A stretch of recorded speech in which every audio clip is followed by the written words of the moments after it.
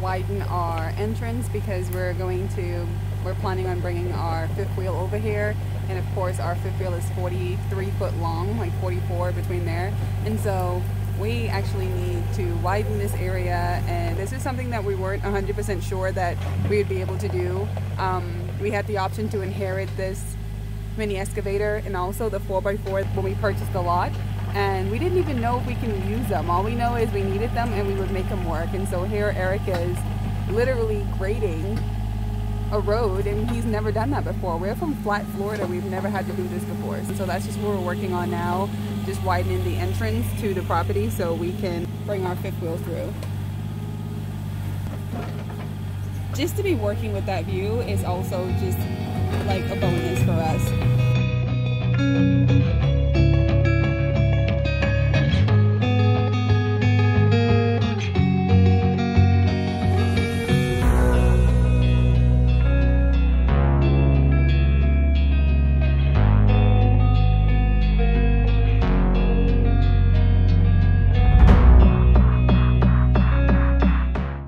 So when we come in from the bridge with the RV, we're gonna have to make a pretty deep turn. We're gonna have to move this gas tank out of here and get the road to connect that way.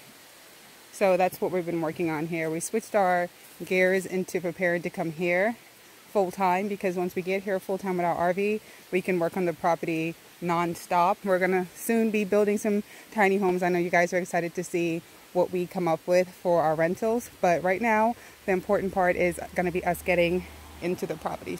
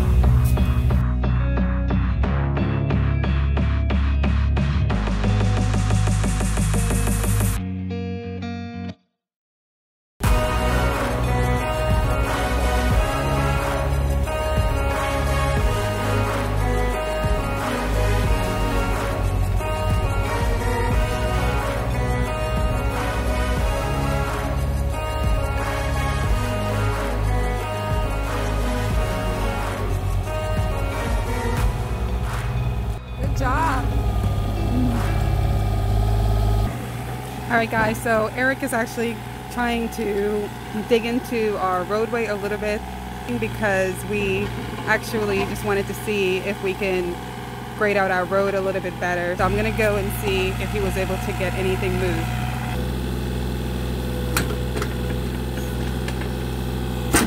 Is that where you're hitting rock?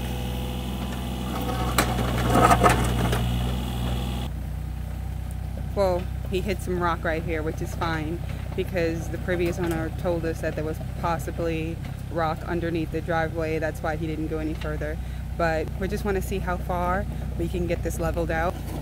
We're making a little headway with moving on from just cleaning now. We're grading and getting ready to move our fifth wheel in here. So guys, this is how we basically widened our road and got it to get more compact and a little bit more easier to drive. Eric basically took our little mini excavator and scaled back our bank to pull some dirt out. And the whole way along, he just dug that dirt and basically um, tried to compact it and flatten it out best he could. And we left for lunch and came back, and it was so much better than what it was driving in here this morning just because we were able to level out some spots that were low, cover up some of the rock that was exposed. As you guys can tell, we have come a far way from the front of the property. Eric is now almost done with grading the road. He has made it from the bridge at the entrance all the way back almost to the kitchen area and I'm so excited because now we can move on to something else. it has been so tiresome just sitting here watching him play on the excavator, having all this fun, and I'm just sitting on the side moving sticks and stones and breaking my bones. but yeah, guys, we're almost done.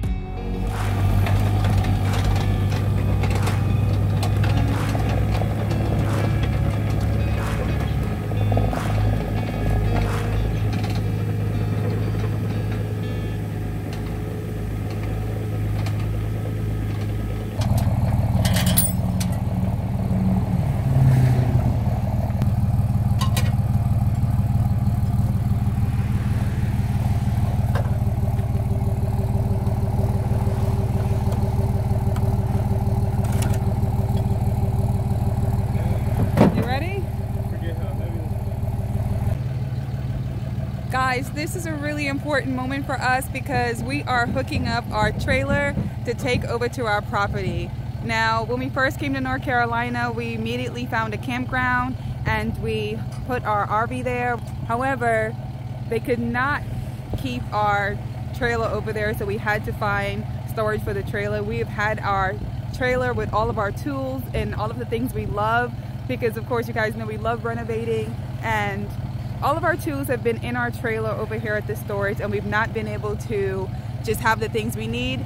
And now that Eric have graded out the driveway and our pads at the property, we can now take our trailer over there, which is amazing because it's kind of going to be a test run for us. Of course, you guys know we haven't taken anything over there other than the truck and the little SUV that we have. So this is going to be a test and a tried and true day because we've never taken anything this big over our bridge. We do have a creek that surrounds our property, so we do have a bridge at the entrance. Guys, this thing has not moved ever since we parked it months ago when we got here. This is so exciting to be taking it over to the property. I gotta catch up to Eric, guys.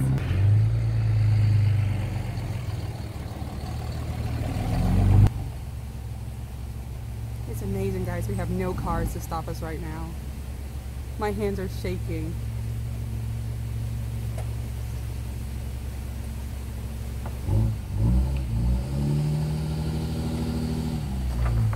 we're gonna make it.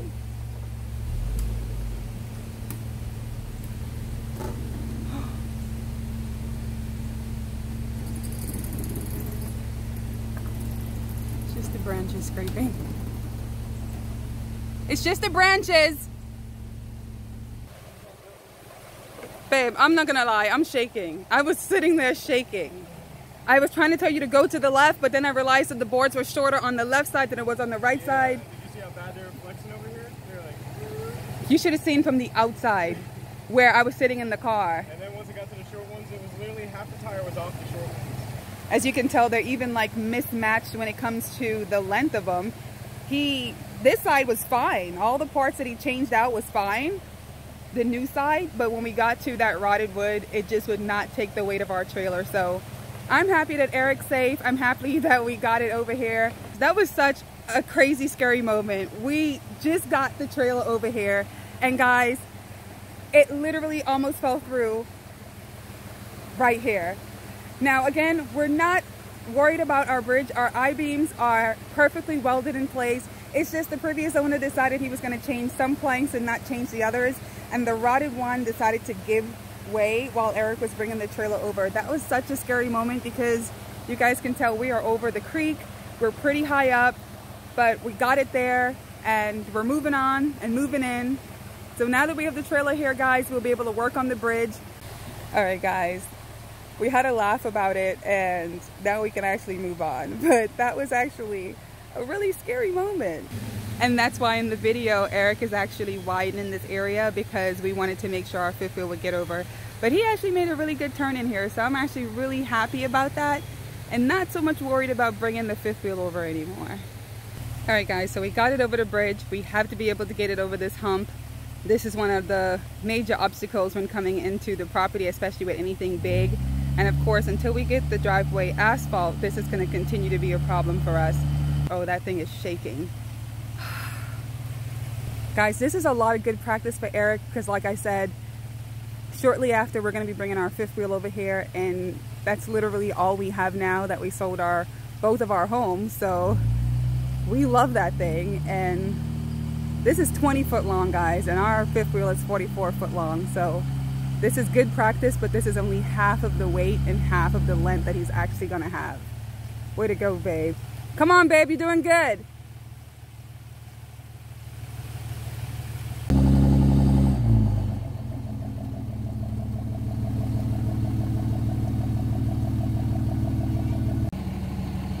Well, we just leave it and then we move it when we move the kitchen because we don't need the truck. I'll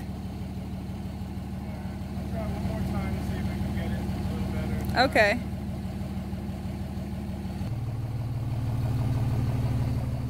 Well guys, at least we got half of our fifth wheel over the bridge and onto the tiny pad because this is 20 foot long and our fifth wheel is 44 foot long so it's going to be a lot more maneuvering.